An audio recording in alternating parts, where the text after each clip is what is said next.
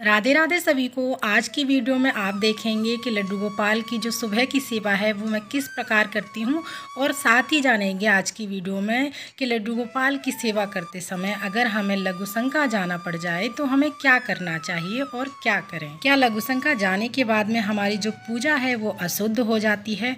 तो हमारी संस्कृति के आधार पर स्नान की बहुत बड़ी महिमा है और स्नान के साथ साथ ही घर के मंदिर की शुद्धि का भी बहुत हमें ख्याल रखना होता है। क्योंकि हम सभी लोग लड्डू गोपाल के भक्त हैं और अपने मन को, कर्म को, अपनी बाड़ी को, हर चीज़ को हम शुद्ध करके ही अपने मंदिर में प्रवेश करते हैं और लड्डू गोपाल की अपने भाव के अनुसार सेवा करते हैं। और हर व्यक्ति का पूरा प्रयास रहता है कि लड्डू गोपाल की जब हम सेवा करें, अपने मन को और अपने शरीर को पूरी तरह से हम शुद्ध रख पाएँ। तो बात करते हैं, जो है हमारी वीडियो का मेन टॉपिक जो मेन टॉपिक है वो ये है तो लड्डू गोपाल की सेवा करते समय अगर लघु शंका जाना पड़े। तो क्या हमें स्नान करके ही फिर लड्डू गोपाल की जो अधूरी पूजा है, अधूरी सेवा है, उसको पूर्ण करना चाहिए?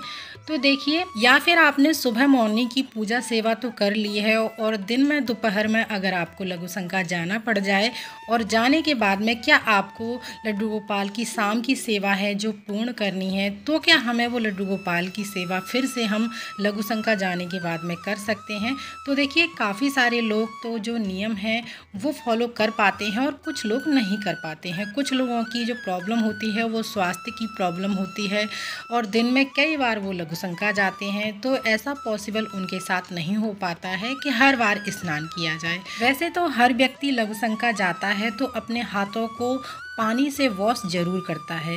कोई कोई तो साबुन से भी वॉश करता है और कुछ लोग तो पूजा के बीच में अगर लघु शंका जाना पड़ जाता है तो वे व्यक्ति स्नान करते हैं। और काफ़ी बार जो ग्रस्त जीवन में महिलाएँ रहती हैं, उनके छोटे बच्चे होते हैं, वो लघु शंका जाते हैं तो बार बार उनको स्नान करना इतना पॉसिबल नहीं होता है कि अपने आप को हर बार शुद्ध किया जाए और तभी लड्डू गोपाल की अथवा मंदिर की बाकी देवी देवताओं की पूजा की जाए। तो क्या गृहस्थ जीवन में रहने वाली महिलाओं को भी लघु शंका चाहे तो बच्चा जा रहा हो, बच्चे को करा रहे हो या खुद भी जा रहे हो तो क्या हर बार स्नान करके ही हमें भगवान के मंदिर में प्रवेश करना चाहिए? यानी अपने घर के मंदिर में प्रवेश करना चाहिए। तो जो व्यक्ति लघु शंका जाने के बाद में हर बार स्नान करते हैं, ऐसा उन व्यक्ति ने संकल्प लिया हुआ है।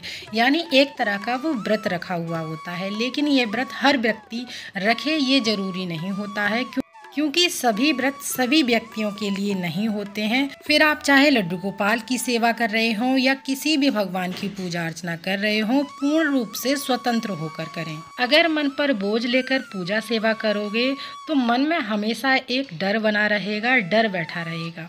हर व्यक्ति के बस में हर चीज़ नहीं होती है। आप हाथ जोड़कर अपने प्रभु से, अपने लड्डू गोपाल से क्षमा याचना करें, प्रार्थना करें।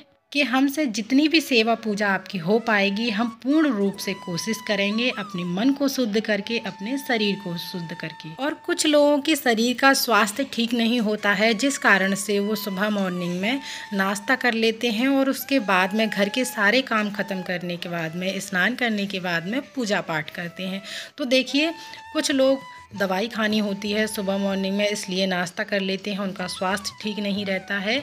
तो जैसे भी आपका शरीर आपका साथ देता है, उसी प्रकार से आप भगवान की पूजा सेवा कर सकते हैं। पूजा से पहले नाश्ता करना, उसके बाद पूजा करना तो ये सब जो हमारे शरीर की जो बाहर की रूपरेखाएँ होती हैं। तो अब देखना, अब देखने वाली बात ये है, हमारी पूजा का संबंध हमारे शरीर से है या हमारे मन से है?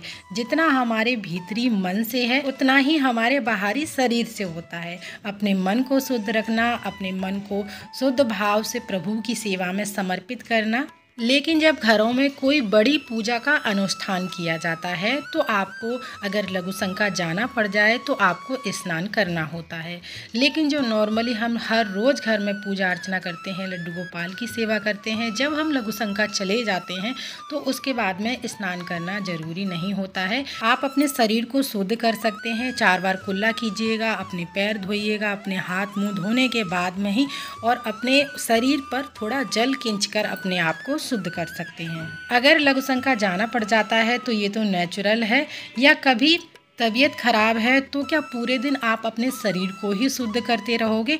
अगर शुद्ध करना ही है तो अपने भीतरी मन को शुद्ध करो, ना कि अपने शरीर को शुद्ध करने में लगे रहो। और आपने अपने शरीर को तो घिस घिस कर साबुन से अच्छे से साफ़ कर लिया, लेकिन जब तक आपका मन शुद्ध नहीं होगा और आप पूजा में बैठे हुए हैं, दूसरों का बुरा सोच रहे हैं, बुरा करने की सोच रहे हैं तो क्या भगवान आपकी सेवा पूजा स्वीकार करेंगे? बिल्कुल भी नहीं करेंगे।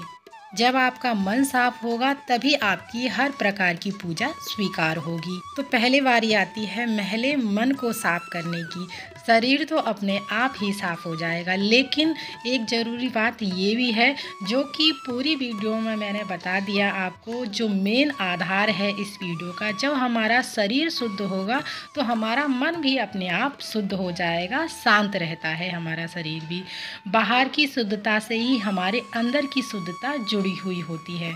जो व्यक्ति अपने बाहर के शरीर को शुद्ध रखता है, वो अपने मन को भी शुद्ध रखने की पूरी कोशिश कर सकता है।